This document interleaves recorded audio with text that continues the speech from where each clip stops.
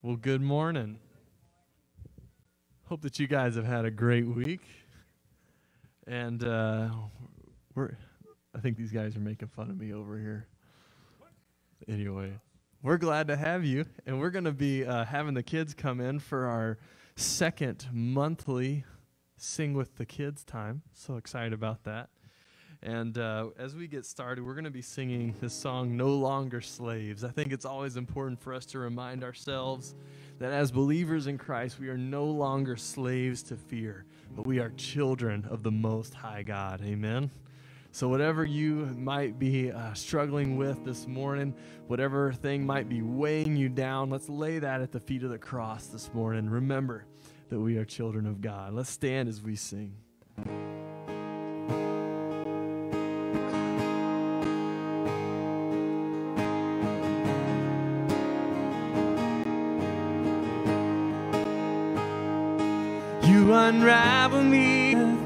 A song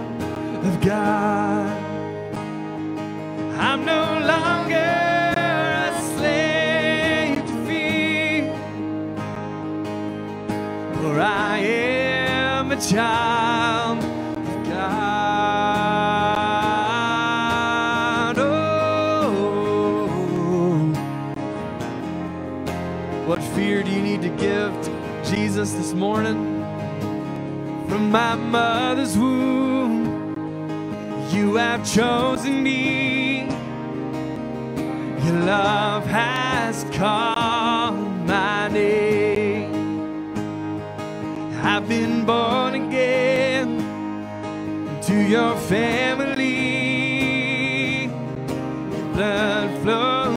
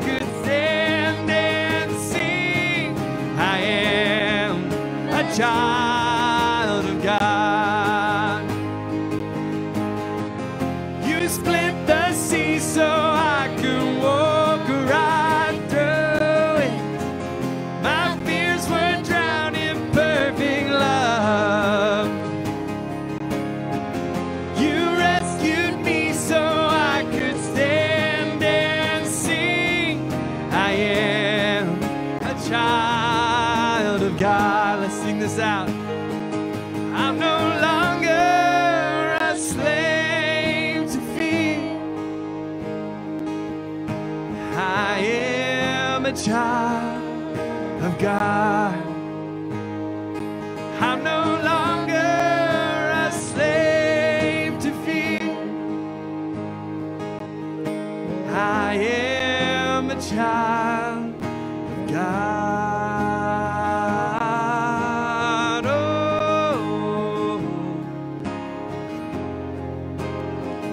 Chorus one more time.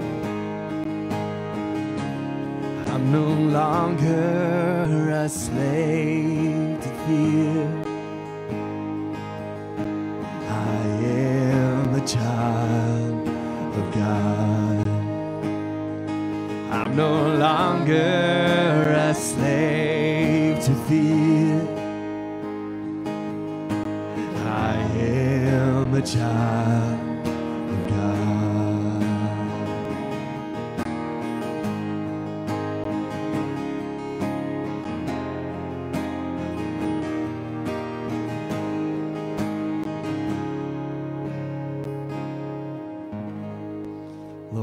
thank you, Lord, that for those of us who have called upon your name, God, we are no longer slaves to fear, slave to our sin, God, but we have been given a newness of life, a freedom in life as children of God.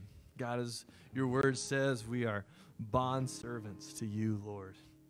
But Lord, in that, there is such freedom, such freedom from sin, such freedom from bondage, and what a new life and a new hope you give us. Help us to celebrate that in spirit and in truth. In Jesus' name, amen. Amen. You guys can be seated. Good morning. Hope all is well with you. Uh, glad to be back. Had a great time out. Uh, we were uh, with uh, we were at a conference at the church that we were at before we came here, uh, and uh, it was scheduled for April, and it was rescheduled to September because of COVID. And so it was good to see family, good to see some familiar faces there, and lifelong friends. And it was good to be able to brag about you and what God is doing in our church here. It's always good to be able to share about what God is doing here. Thankful to uh, Damon for covering a couple of weeks ago, and uh, for Pastor Jan. Yeah, you can clap. That's right. You clap for Damon. So take a bow, Damon. You can stand take. And grateful for uh, Pastor Jan who shared last week. I know you were blessed by both of them. I uh, wanted to mention a few things. First of all, community groups start back this week. You should have received a blue bulletin insert a couple of weeks ago with the days, uh, locations, and times on, on that. Uh, if you did not receive that, there are a few hard copies out here in the hall that you can grab on your way out. Uh, it's not on our website simply because we don't want to put people's addresses since they meet in homes. Primarily, we don't want to put those on our website. So uh, if you go out here to get one of those sheets and it's not there, please let me know and we will get you all the information for our community groups that start back. Also, want to let you know we have another group that was not published on there that is a unique group that's going to be meeting. Uh, they're going to be meeting every other Thursday. So, so a couple times a month, every other Thursday. They're going to start October 8th, and it's going to be at 6 o'clock. And what is unique about it, not only is meeting every other week, but also it's a family uh, community group, meaning that kids are welcome to be there with the adults, and uh, just going to go with that model for that group. So I'm excited about that. If you would Again, eh, that's not on the sheet and it's not on our website. So if you would like some information about that family group, uh, that community group that's for, for families, come and talk to me, and I will be glad to get you the information for that. Time next year, and we've got a New Testament reading plan on our website under our resources part of our page. Uh, and also, again, hard copy out here in the hallway if you'd rather grab one of those. Uh, also, family devotional time. We challenged everyone in our church to do a weekly devotional together as a family. Uh, and again, I know that is kind of terrifying to some probably to all of us, but when I say family devotional time, I'm not talking about stand with a podium and preach. I'm talking about read a verse and talk about it as a family, pray together, just something simple like that. Uh, and uh, to, to help with that, we've got a family devotional guide uh, that is available. It's going to be on our it's on our website under again under the resources tab, and we also have a hard copy out in the hall if you'd like to grab one of those. One more thing I wanted to mention is uh, guest luncheon, if you are relatively new to our church and you would just like to get to know a little more about our church uh, and get to meet some, some of the leaders in our church, next Sunday after this service, we're going to have a free luncheon. Uh, that's going to take place here uh, in this big kids room back here. So if you would like to be a part of that, we just need to know so we can get a count for food. And there's a sign up sheet out in the hallway. Please let us know if you plan to be here for that. Uh, next week, we are going to start a verse by verse study through the, the Old Testament book of Micah. Old Testament book of Micah. Uh, so I would encourage you to possibly read that this week, or at least read chapter one to familiarize yourself a bit with that book as we get started on that. There's seven chapters in Micah, and so I'm thinking it'll take 14 or 15 weeks to get through that. I'm excited about that as we're starting a new school year, getting back to a sense of norm, a sense of normalcy, as normal as it can be in the year 2020. Right? I mean, this has been a very, very strange year, uh, but I'm excited about getting started back into that. Uh, I wanted to, before we pray, I want to read you some verses from Philippians chapter 4. Philippians chapter 4, verse 4, it says this. It says, Rejoice in the Lord always. Again, I will say, rejoice. And I uh, just want to say this no matter what is going on in our lives, no matter what trials you're going through, no matter what burdens you brought into this room this morning, no matter the circumstances of your life, I think we would all agree that we have a lot to rejoice about, don't we? We have a lot to thank our great God for. God has been good to us. So Paul writes, Rejoice in the Lord always. Again, I will say, rejoice. Let your gentle spirit be known to all. The Lord is near. Now listen to verse 6, Philippians 4 6. Be anxious for nothing, but in everything, by prayer and supplication, with thanksgiving, let your requests be made known to God. And here's the promise. And the peace of God, which surpasses all comprehension, will guard your hearts and your minds in Christ Jesus. Uh, what a great promise that is. That we have a God who loves us, who calls us, who bids us to come and to bring our burdens before Him. And we all, again, all have burdens this morning. So, whatever it is that is on your heart this morning, the best thing we can do is pray and lay that at the altar and say, God, give me peace. Guard my heart, guard my mind in this. Uh, I want to do something a little bit different this morning. This is kind of was been on my heart the last few days to do this morning. Uh, there, there are a lot of people in our church right now who are sick. Uh, I got permission to share this, but a lot of you guys know Vern Hintz, who is one of our greeters up front. Uh, Friday morning, Vern went in for uh, just a basic heart check, and uh, they found some very concerning things there. And long story short, went in Friday morning for that check. Saturday morning, he had to have triple bypass surgery. Um, and he's doing great. Got a text from Leanne this morning. He is doing really, really well in recovery. But we want to pray for, for Vern and Leanne. It's going to be a you know six or eight week recovery for him. So we want to pray for them. We've got another lady. I'm not going to share her name, but she recently was diagnosed with uh, with Hodgkin's lymphoma, and she is going through treatments now, and she is in isolation currently. We want to pray for her. Pray for her husband. Um, and then there are others who just have some general illness that uh, just seems a little bit seems like there's a lot of sickness right now, and we want to pray for all of those and their families. Uh, also, I've, I've kind of noticed that there are some relational difficulties that have occurred recently in several of our marriages and just some of our friendships and so forth. And want to pray for that, uh, pray for them. Uh, and also, just for those who are struggling right now with the future.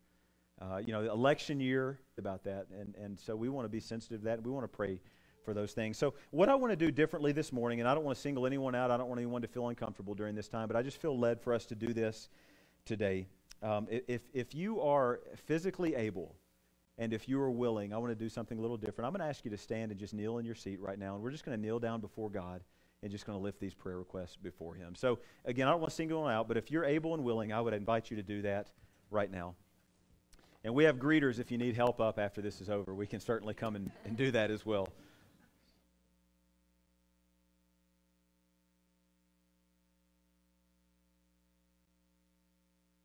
Father, right now we come before you in the name of Jesus. So thankful for the ability to assemble here today. God, we thank you for the reality that we can come into a relationship with you because of the great sacrifice of Christ.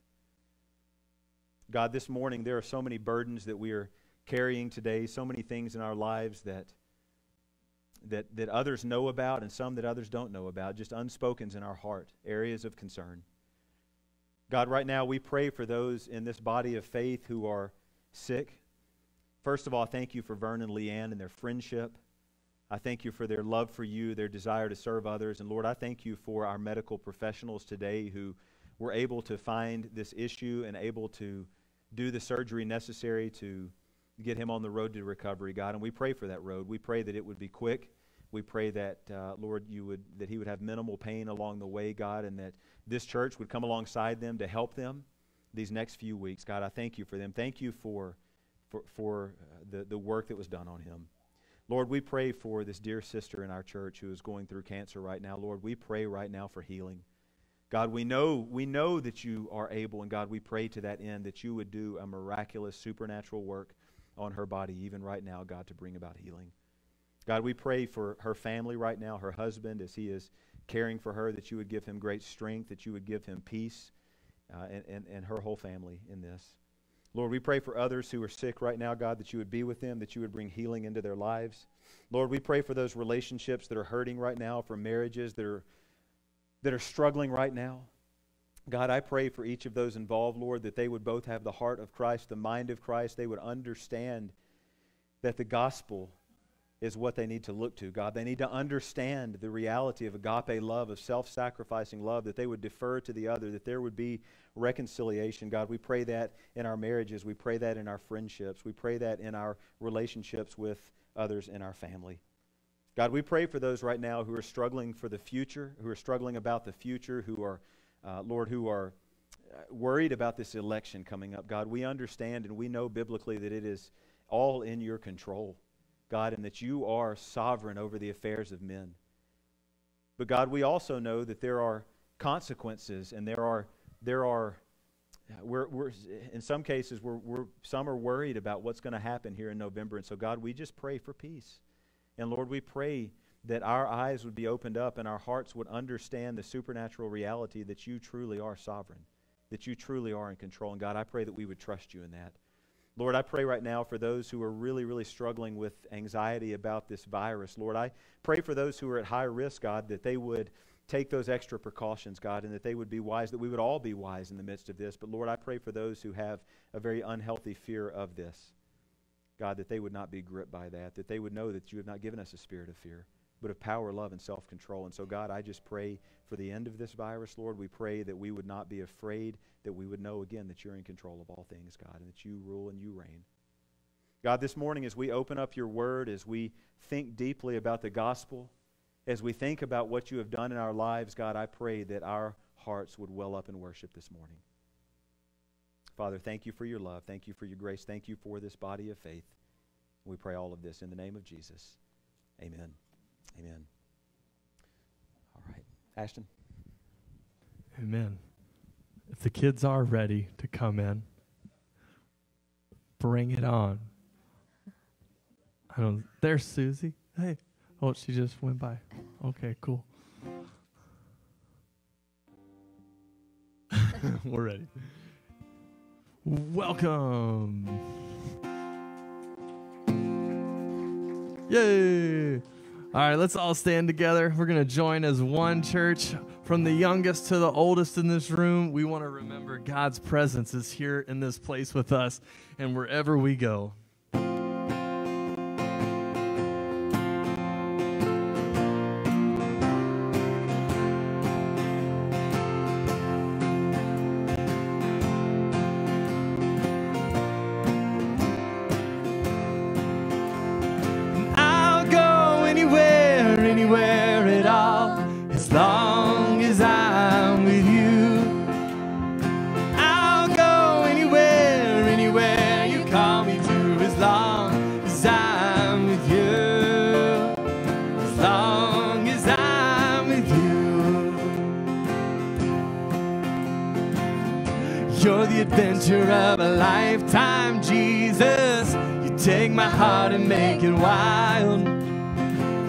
You are the thrill my soul is seeking, Jesus. Your grace is no horizon line.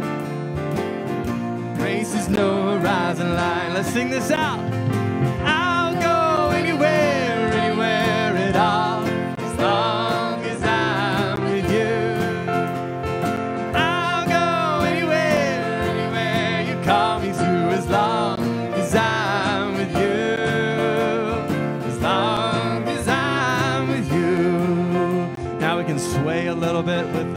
Of the ocean. Take me out beyond the waves, Lord Jesus. You are the captain of my soul. There is no map for where your wild heart takes us. We're running into the unknown.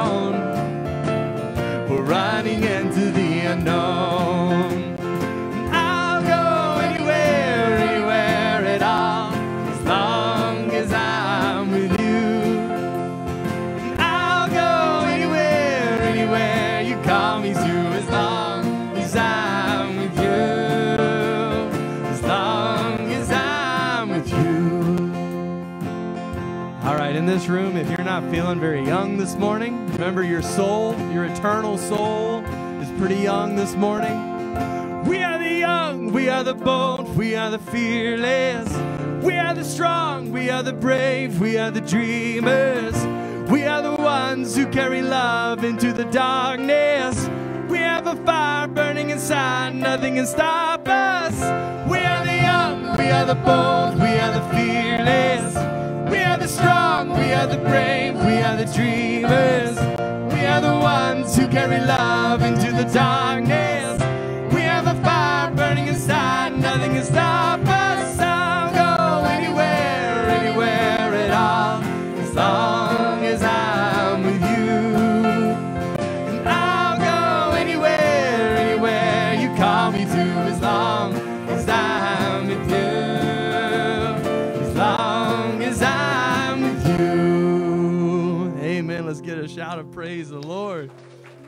Good.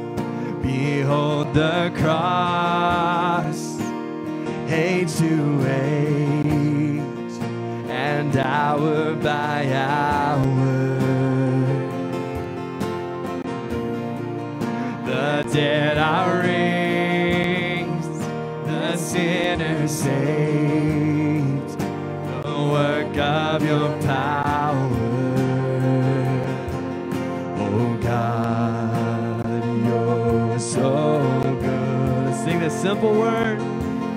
Oh God, you're so good. Every generation. Oh God, you're so good. You're so good. In Him we are a new creation with new hopes a new identity. I am blessed, I am called.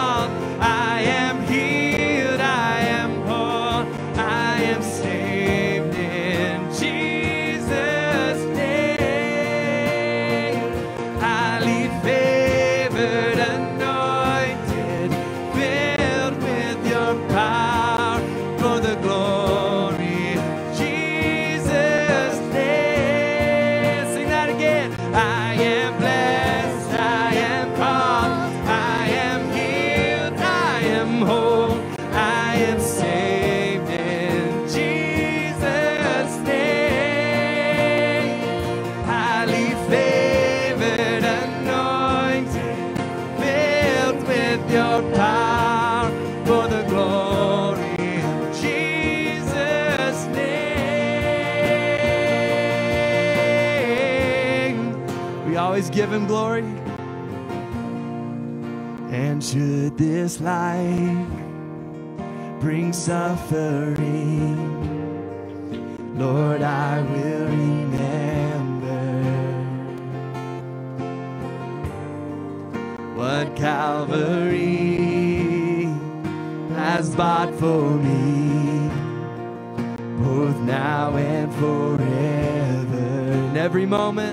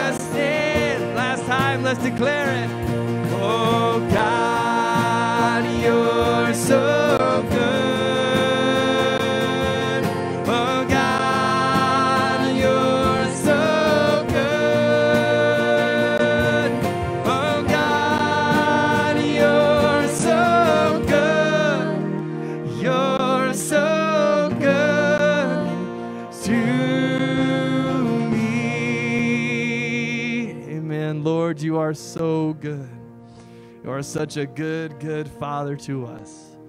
Lord, in you, as we've sung, we are a new creation. God, despite the things that we still encounter in this life because we live in a fallen world, God, we can always declare that we are blessed. God, we are healed from the, the bondage, from the death that we owed in our sin. God, and we are saved by the power of Jesus' name. God, I pray that from every generation represented in this room, that we would have that understanding in our hearts that you love us so much, that you're so, so good to us. We thank you for that in Jesus' name. Amen. Amen. Amen. Before the kids leave, all right, who can tell me? You can be seated, except for the kids. Need to get their energy out. All right, quickly. Who can tell me the first four books of the New Testament? Say it. New Testament.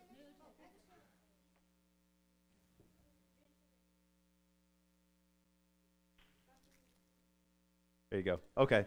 Sorry, I'm out of candy. That's it. Last question. the only question I have. But if I said Old Testament, you would have got it, but good try. Okay, you guys can leave. It is remarkable to me how many blonde haired, blue eyed kids there are around here.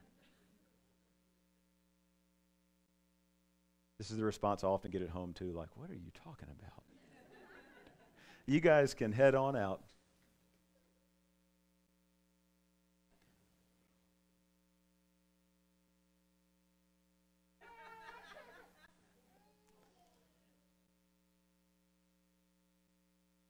All right, it's neat to have them in here every now and then, isn't just to see the kids singing and clapping and uh, you know, there's something that is very, very beautiful to me. I, I always stand in the back during the singing time for a couple of reasons. One, some of you probably won't believe this, but truly, I really am just naturally, I'm, I'm an introverted person. I just kind of like being in the back. Uh, but another thing I like about being back there is it is a beautiful thing to look out and just to see God's people worshiping Him. And look out and see hands lifted, singing, God, you are so good. God, you have been so good to me. That is a beautiful, beautiful thing. If you are a Christian, I want you to think for a minute about the circumstances surrounding your salvation. When you came to know Christ, maybe you were at a bad place in life. Maybe there were trials and circumstances in your life at that time that just kind of you had kind of had you in a really really dark place in life. Maybe you were at a really good place in life and things were at peace. Maybe maybe you were raised in a re- very religious home. You were at church every Sunday and every Wednesday or maybe you were raised in an irreligious home. Maybe even in a home that that hated all things Christian, hated God, that talked openly about their disdain for God. Maybe you had a terribly rough upbringing where you experienced a lot of abuse and trauma and for many, many years, you were embittered toward God. Or maybe you grew up in a great family and had a great life. We all have different stories, but if you know Christ as your Lord and Savior, it is good to remember, to regularly remember how we were saved, what the circumstances surrounding our salvation, remember what happened. As a pastor, I often have to go back to my calling to ministry. There are times in ministry, majority of the time is joyful and and it is it is just something I absolutely love doing. But then there are weeks and days that are difficult, and you sense the burden of the church and people in the church, and it can become very very heavy. And there are times that I have to go back to when I was 19 years old, and when I clearly remember God calling me into gospel ministry, and it is the same with our salvation, regardless of whether or not things are going well or not so well in our lives today. When things are bad, when things aren't going well, it's tempting to despair. And when things are going great, it is tempting to become arrogant or complacent or self sufficient. So today we're going to look at a passage that I love. We're between studies. As I said, we're going to start the book of Micah next week. Uh, and we just finished up our, some other studies that we've been doing over the summer. And so this week is a freebie for me. I get to pick what I want to do this week, which I'll be honest with you, one of the reasons I love going through books of the Bible is I'm awful at picking what I want to do. It takes me forever to figure out what it is. I'll think I'm going to, I had like four different sermons ready for this. And then today, I, or not today, but a couple days ago, I settled on this one today. And so typically, what I do when I have a free week is I just go back and, and usually preach from a book of the Bible that I love. And I've got several that I really, really like. Some of my, as you do, some of your top and your favorite books of the Bible. I have mine as well. And one of mine, possibly my favorite, is the book of Colossians. We preached through this several years ago. And so if you have your Bible, I invite you to turn to Colossians chapter 1. Colossians 1, verses 13 and 14. It is, as I said a moment ago, a good practice to regularly go back to the simplicity of the gospel. And these verses in Colossians present the gospel very clearly. As you all know, we have been and we are living in a very, very strange day in the year 2020. There are words I would use to describe it strange, weird, odd. There might be other descriptors you would use, but my goal today is twofold in this message. Number one, for those who are children of God, if you know Christ, when I ask you to remember your salvation, if you can, if you can think back on a time or a season in your life where you began to really love God, you begin to walk with God, you trusted in Him, you asked Him to forgive you of your sins. If you are a Christian, one of my goals today is that you would leave here worshiping God more deeply and more profoundly as a result of this message, thankful for your salvation. The second part is this I want to call any who may be here today or watching online who don't have a relationship with God, I want to call you into a relationship with God. I want to, to present the gospel in such a way that God uses it in your life to draw you to salvation, to help you understand your need for Christ. So look at Colossians chapter 1. Look at verse 12 first of all. Colossians 1:12. It says, "Giving thanks to the Father, who has qualified us to share in the inheritance of the saints in light." How have we been qualified to have an inheritance in God's kingdom and in God's family? How have we been qualified? What makes us sufficient for this? Look at verse 13. For, or because, he rescued us from the domain of darkness. And he transferred us into the kingdom of his beloved Son, in whom we have redemption, the forgiveness of sins. So there are two parts to verse 13. He rescued us and he transferred us. Now, what does it mean, first of all, that Christians, if you know Christ, you have been rescued by God? What does that mean? Well, first of all, it means that something was terribly wrong in our lives that caused us to need to be rescued. A person who needs rescuing is a person of great need. And in mankind's case, all of us, we were stuck in the wrong kingdom before we came to know Christ. We were held there as hostages by our own lusts by our sin, without hope, without the ability to break the shackles of sin, without the ability to avoid the consequences of our sin. But then God did something magnificent to rescue us. At the appropriate season of God's sovereign timing, God sent forth his son Jesus into the world to seek and to save that which was lost. Listen to Galatians 4 4 through 7. It says, But when the fullness of time came, God sent forth his Son, born of a woman, born under the law, so that he might redeem those who were under the law, that we might receive adoption as sons. Think of that picture adoption into God's family. Fatherless, adopted. We have a father, we have a family through Christ. Because you are sons, Paul writes in Galatians, God has sent forth the Spirit of His Son into our hearts, crying, Abba, Father. Therefore, you are no longer a slave, but a son. And if a son, then an heir through God. An heir to what? An eternal inheritance. Eternal inheritance through what Christ has done. God has qualified us for that.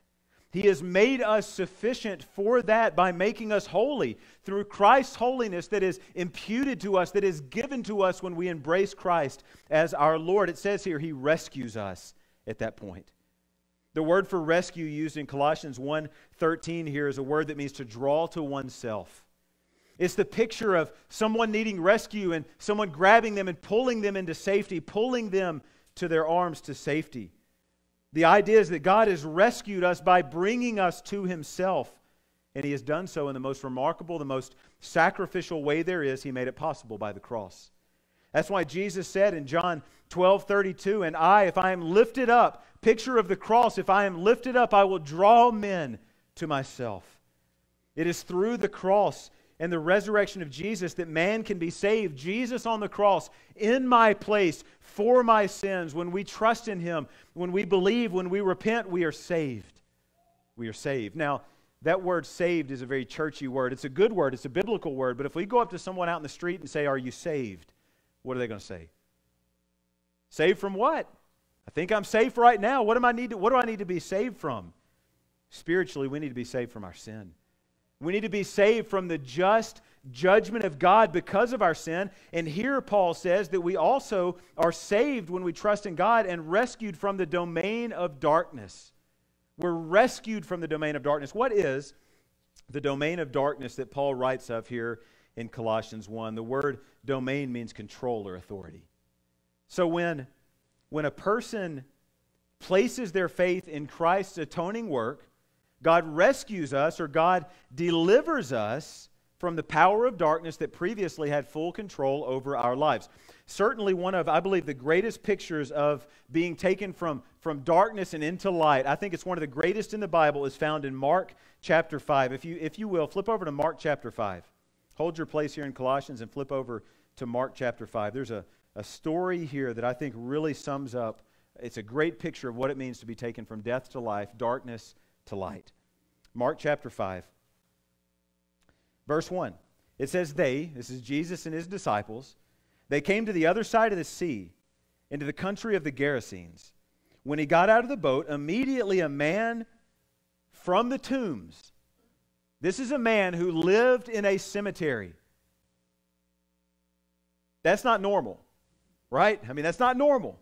Immediately, a man from the tombs with an unclean spirit met him and he had his dwelling among the tombs. And listen to this he had freakishly supernatural strength. And no one was able to bind him anymore, even with a chain, because he had often been bound with shackles and chains, and the chains had been torn apart by him, and the shackles broken in pieces, and no one was strong enough to subdue him. So there was this man who was possessed by devils, and he was powerful because of that. And people feared him. People wanted to keep him away from their city, from their children. So they would, they would tie him up. They would bind him in chains. And this man, because of these demonic spirits, would break the chains.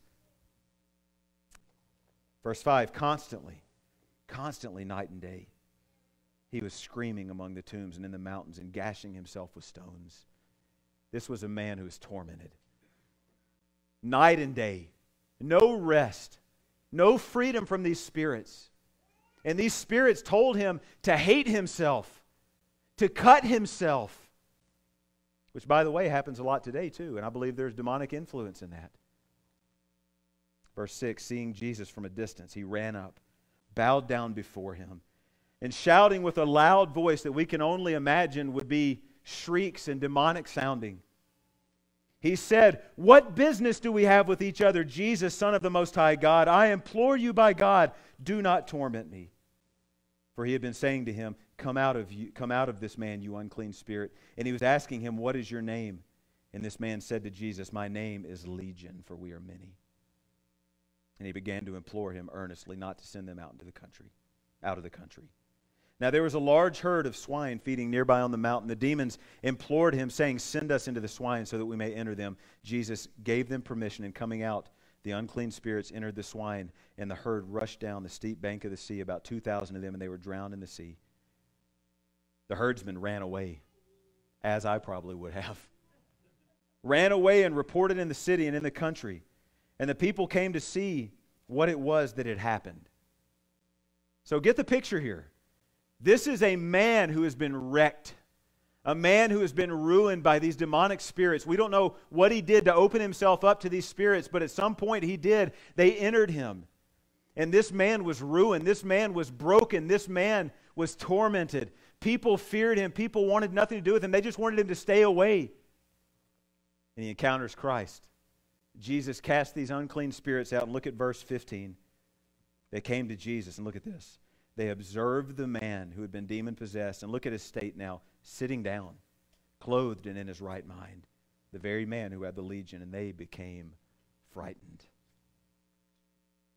That is a great picture of someone literally being taken from the kingdom of darkness and transferred into the kingdom of the beloved Son. Paul wrote in Romans chapter 7. This is just a good reminder that when we are delivered from one kingdom into the next, it does not mean that we're not going to battle sin anymore in our lives. We live in a fallen world, we live in fallen bodies, we have conflict with each other. When we come to know Christ, doesn't mean everything's going to be great. It doesn't mean we're not going to sin anymore. Now, we should be striving against that, and we should be growing in our faith to where sin is becoming less and less in our lives. But Paul wrote, think about the Apostle Paul, one of the most godly men. I mean, certainly up there toward the top, who we would think of. And Paul even wrote in Romans chapter 7 about this very thing. He wrote of his continued struggle with sin and mankind's continued struggle with sin. I think about John Newton, the author of the old hymn, Amazing Grace. He said this He said, I am not the man I ought to be. I'm not the man I even wish to be, and I'm not the man I hope to be, but by the grace of God, I am not the man I used to be. Isn't that a great quote? We are who we are because of what God has done in our lives, the grace of God, and we are growing. We are to be growing. We are to be sanctified. We are to be growing in our faith. Here's what happens. This is from an old preacher by the name of Adrian Rogers. I don't know if any of you ever heard of him. He passed away some years back. But he said, talking about salvation, he said, The moment you repent, and believe in Jesus Christ as your Lord, you are saved from the penalty of sin. That's justification. You are declared righteous in the sight of God. After that, he said, you enter a process of sanctification where you are being saved from the power of sin. Sanctification, growing in godliness. And then he said, when you get to heaven, when you die and go to heaven, you will be saved then from the very presence of sin.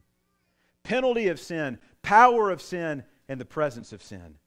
The idea there is justification, sanctification, glorification. When you know Christ, you have been, the Bible talks about it this way we have been saved, we are being saved, and we will be saved. Justification, sanctification, and glorification. Now, let me just stop for a minute and ask you this question.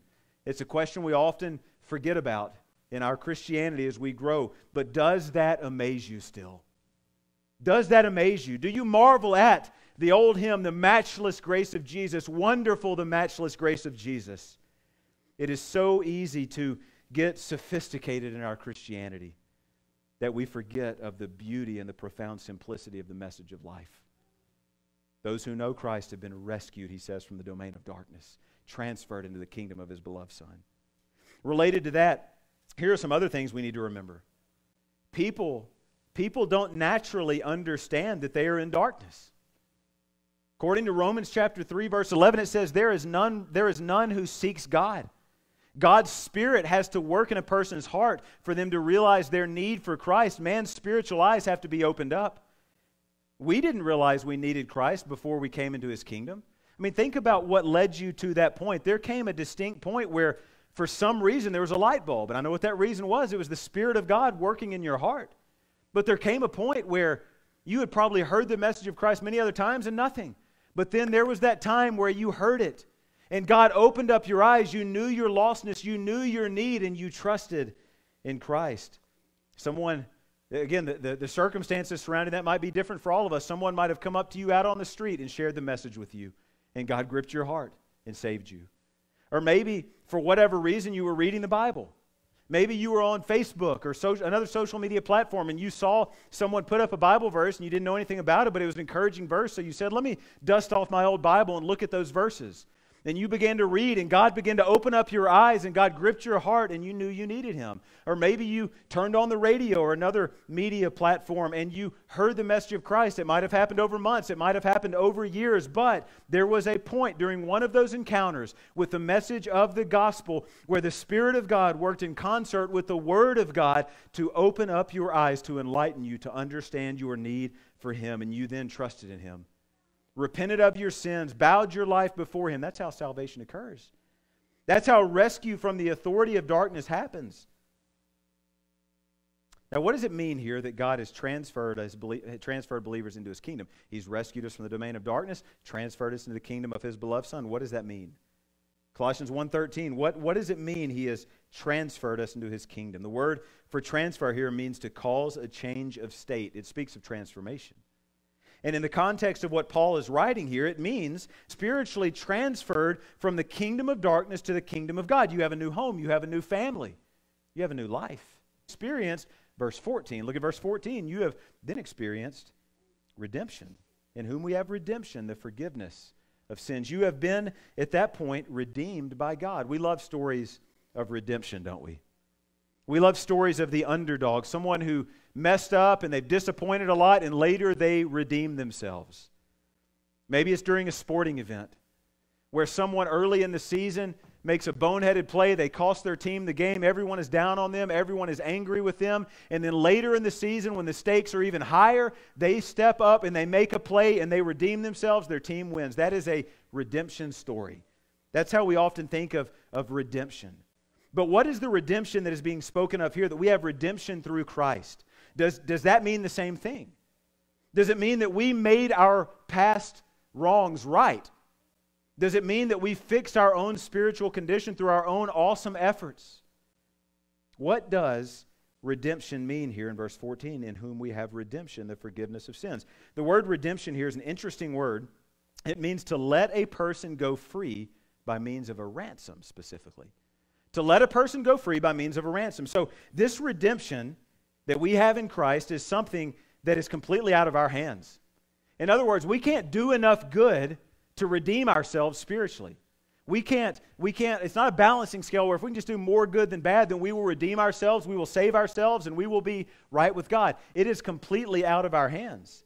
I mean, think about what a ransom is. If someone is kidnapped, the bad guy might contact the family and, and they'll say, Look, I'll give you your, your, your loved one back if you give me this amount of money. Think about it from a perspective of a nation.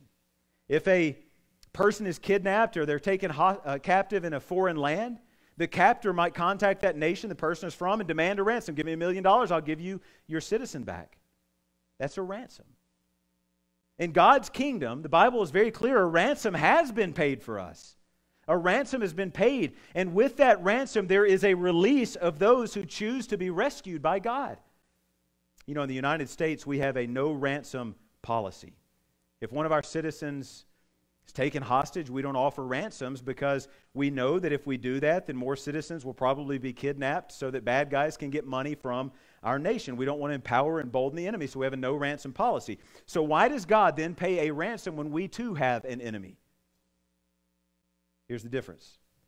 In Jesus' ransom payment, he not only liberates those who choose to be rescued, but in that ransom payment, he permanently and eternally defeated the enemy, the very one who wants to keep us in shackles.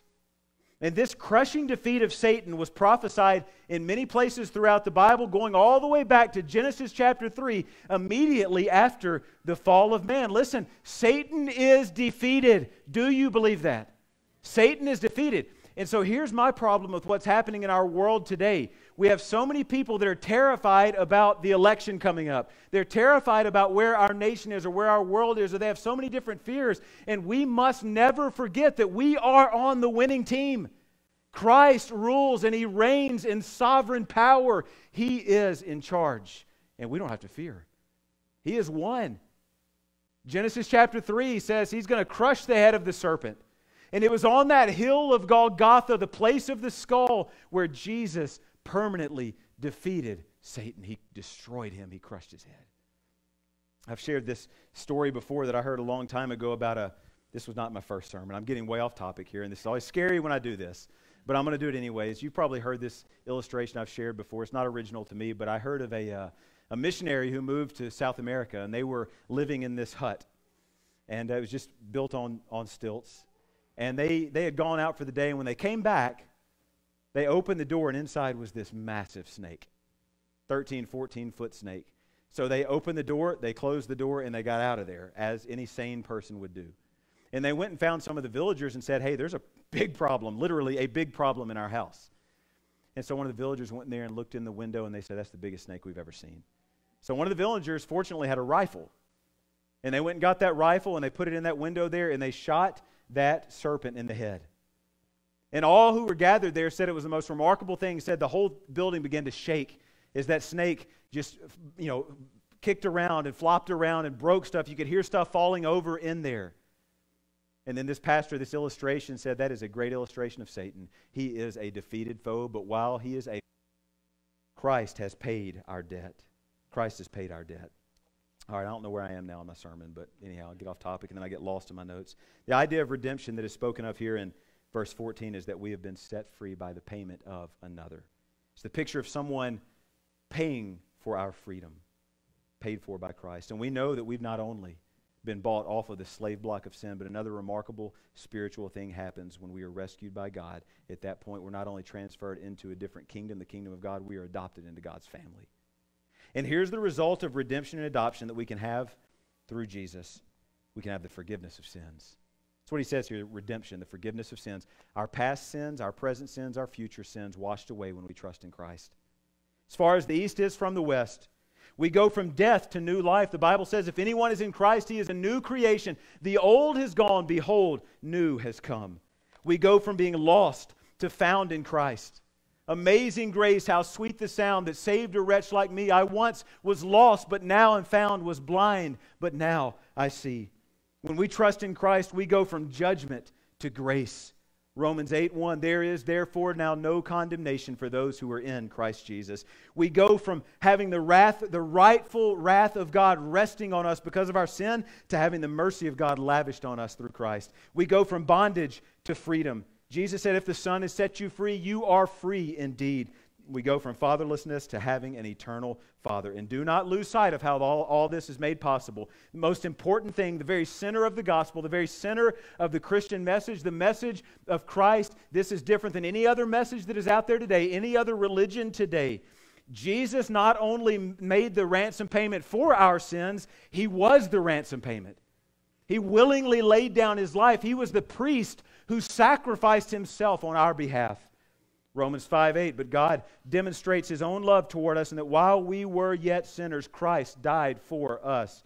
Isaiah 53 4 through 6, written over 700 years before Christ would go to the cross. Prophecy about Christ, it says, Surely our griefs he himself bore, and our sorrows he carried, yet we ourselves esteemed him stricken, smitten of God, and afflicted. But he was pierced for our transgressions he was crushed for our iniquities. The chastening for our well being fell upon him, and by his scourging we are healed. All of us, like sheep, have gone astray. Each of us has turned to his own way, but the Lord has caused the iniquity of us all to fall on him.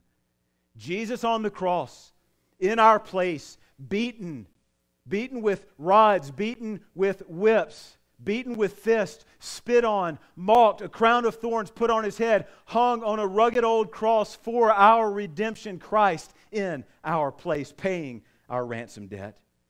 You know, one of the grave errors I believe that many people fall into when they read the Bible is they, they go to the Bible looking for affirmation of how awesome they are, right? We say, man, I'm just, I'm really discouraged right now. I need to read the Bible and just find out how awesome I am. And certainly that is not a bad thing to do periodically. It is good to do that. It's good to look at the Word of God and understand that we are God's special creation, created in the image of God. God loved us enough to send His Son to die for us, to understand how valued we are, to be able to be made right with God. That is good. But listen, these verses in Colossians and the whole of the Bible is not about how awesome we are, it is about how awesome and great our God is. That's what this is about. That's what this is about. Jesus himself on the cross, ransom payment for our sin. Now, one more thing, this makes it so remarkable. Look at Colossians 1 again. Look at verse 15. Colossians 1:15 it says it describes this one who died for us. He is the image of the invisible God, the firstborn of all creation. Now that's not saying he was born into creation as if he didn't have a as if he had a starting point. The Bible is very clear Christ is eternal. In fact, the very next verse backs that up, verse 16, for or because by him all things were created. So when it says firstborn of creation, it means he is the creator, both in the heavens and on earth, visible and invisible, whether thrones or dominions or rulers or authorities, all things have been created through him and for him. He is before all things, and in him all things hold together. Place in everything. Now I'm going to stop right there. Here's what that means. It means that you think about who this God is. Think about what Christ has done. What is the only natural response, the only appropriate response to a God like this? Paul says he's got to have first place in every area of our lives. No other gods before him. Whatever, and, and, and listen, maybe today you are here and you do know Christ, but maybe if you're very honest, you would say there are things, in that it might be a person, it might be a child, it might be a spouse lives. He's to have first place. Verse 19, for it was the Father's good pleasure for all the fullness to dwell in him and through him to reconcile all things to himself, having made peace through the blood of his cross. Through him, I say, whether things are. Creator, the ruler, the sustainer of his creation, the joy and the reason for life, the head of the church, the conquering one, the preeminent one, God incarnate. This is the one who willingly gave himself for you and for me. so that we can have life. By placing our faith in what Christ has done, by simply calling out to Him, asking Him to forgive us of our sins, by repenting of our sins, turning from them, by surrendering our lives to Christ, we can be saved. We can be forgiven. I ask you to, when I ask you to think back on your salvation, maybe if you're very honest, you would say, I really couldn't. I, don't, I can't remember a time in my life where I've repented of my sins, where I've trusted in Christ. Well, I believe today you have clearly heard the message of Christ. You've clearly heard how you can be saved, how you can be rescued, how you can be delivered and transferred into God's kingdom, adopted into his family. If you've never trusted in Christ, do not reject that today. There's a warning in lots of different places, but I want to read one right now Hebrews 4 2. It says, For indeed we have had the good news preached to us, just as they also. But the word they heard did not profit them, because it was not united by faith in those who heard. Jesus told a parable about this, a parable of the sower. If you have had the word of God come to you this morning, the gospel is in your heart right now, do not allow Satan to come in and steal away that seed. Allow it to grow. Repent of your sins, trust in Christ this morning. Don't squander this opportunity that God has laid before you. Second thing is this if you know Christ this morning, all I want you to do is just worship God in your heart. In a moment when we're quiet, I'm going to ask the worship team to come on up now. And in a moment as they're playing, as we're all quiet and thinking and contemplating, just worship God in your heart. Say, Lord, you have been good to me. Thank you for rescuing me. Thank you for saving me. I'm going to do something a little bit different this morning. We knelt down earlier to pray, which was different, so might as well do something different here at the end of the service as well. Here, I invite Jesus Christ, come and see me here in a minute, and, and we would love to, to connect you with someone who can share the message of Christ with you. Or, if there's just a burden on your heart and you just want to pray, I'd love to pray with you this morning. So come.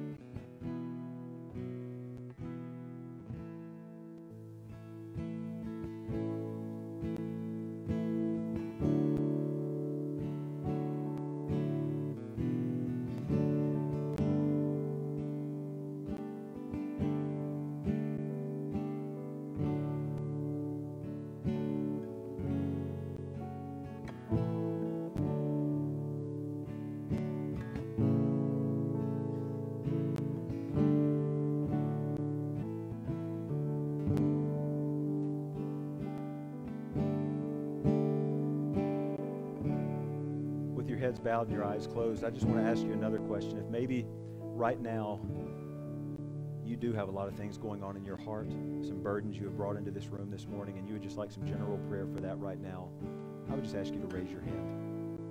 I'm not going to single you out, I'm not going to call you out. I just want to pray for you. Opportunities to come together on Sundays and Wednesdays and, and other times, God, just encourage one another. So, Father, I pray for my brothers and sisters right now who are struggling through different areas of their lives. And Lord, I think to an extent all of us have these burdens in our hearts. So, God, just help us, encourage us. Lord, we know your word says that the Holy Spirit of God who dwells in us who know you, he is our helper, he is our advocate, he is our parakletos, the one who comes alongside us in life to help us. So, God, encourage. Holy Spirit of God, encourage. As your word says, for those of us who just are hurting right now over things and they don't know how to pray, Lord, we pray to the Holy Spirit right now to pray for us, to encourage us, to give us wisdom. Father, if there's anyone here this morning or watching online who doesn't know you, God, we pray that they would be saved today.